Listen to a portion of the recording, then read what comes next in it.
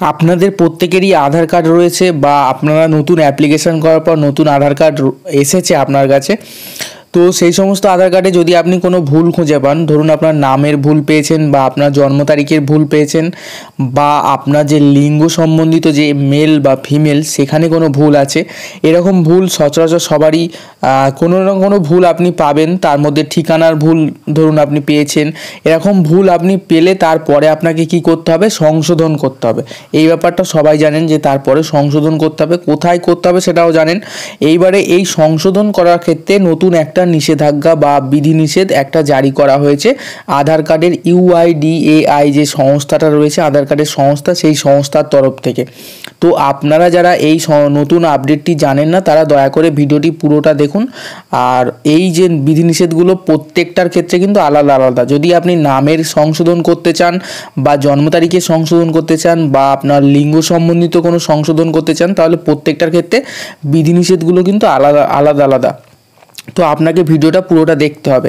তো তার জন্য প্রথমে যে বিধিনিষেধটা হলো, সেটা হলো যে নামের ক্ষেত্রে নামের ক্ষেত্রে দেখা যায় যে কারোর ভুল আছে, সেই নামটা সে সংশোধন করে সেটা পরবর্তীকালে একটা নাম ঠিক করল ঠিক করার পরে সেই যে নতুন নামটা যেটা ঠিক করল, সেটার ক্ষেত্রে যদি পরবর্তীকালে দেখা যায় সেটাও আবার চেঞ্জ করতে হবে, তাহলে সেটা আবার সে ঠিক করতে পারবে। এইভাবে সে দুবার ঠিক করতে পারবে এটাকে।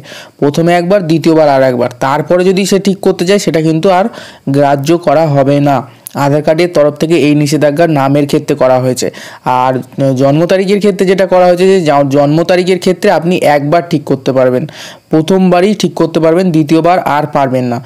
সেক্ষেত্রে জন্ম তারিখের ক্ষেত্রে আপনি একবারই আপনাকে ঠিক করে নিতে হবে। যে সঠিক জন্ম তারিখটা সেটাই ঠিক করে নিতে হবে। আর সেক্ষেত্রে জন্ম তারিখের যে পুরনো যে ডকুমেন্টটা আপনি দেখিয়েছিলেন, জন্মের অ্যাপ্লিকেশন করার সময় আধার কার্ডের, সেই অ্যাপ্লিকেশন সেই যে ডকুমেন্টটা জন্ম তারিখের থ্রুতে আপনি দেখিয়েছিলেন, জন্ম তারিখের থ্রু হিসাবে, তো সেই ডকুমেন্টে আপনাকে আবার দেখাতে হবে। যখন আপনি সংশোধন করতে যাবেন, সেই ডকুমেন্টে আপনাকে দেখাতে হবে। এবারে যদি সেই ডকুমেন্টটা এখন বর্তমানে না থাকে, তাহলে সেই আধার কার্ডের সংস্থা আপনাকে আপনার আঞ্চলিক যেখানে এই সংস্থাটা রয়েছে অফিসটা সেখান থেকে যে ডকুমেন্টটা আপনাকে বলে দেবে, সেটাই দেখাতে হবে। তো এটা হলো জন্ম জন্ম তারিখের ভুল।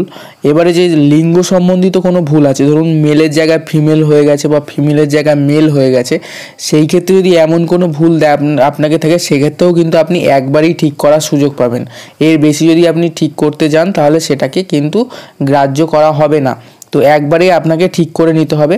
আর বাকি যে সমস্ত ভুলগুলো, যেমন ঠিকানা, বাবার নাম, তারপর আরও যতগুলো, বাকিগুলো রয়েছে, সেখানে যদি কোনো ভুল খুঁজে পান, তাহলে আপনাকে কিন্তু কোনো বিধিনিষেধ এর ক্ষেত্রে জারি করা হয়নি। অর্থাৎ বাকি যে ভুলগুলো আছে, সেগুলো আপনি যেমন ঠিক করেন সাধারণভাবে, তেমনই আপনি ঠিক করতে পারবেন। তো এই এগুলোর ক্ষেত্রে কোনো বিধিনিষেধ জারি করা হয়নি। তো তিনটি ক্ষেত্রে নাম, জন্ম তারিখ এবং আপনার হলো লিঙ্গ সম্বন্ধিত কোনো ভুল যদি থাকে, তাহলে আপনার এই সমস্ত এগুলো আপনাকে মানতে হবে।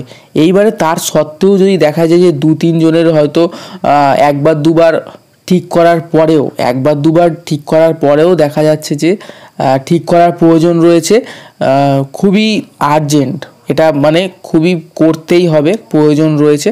তো সেক্ষেত্রে তাদেরকে কি করতে হবে যে ইউআইডিয়া, এআই যে সংস্থাটা রয়েছে, তাদের একটা ইমেল অ্যাড্রেস রয়েছে। সেই অ্যাড্রেসে আপনাকে চিঠি পাঠাতে হবে।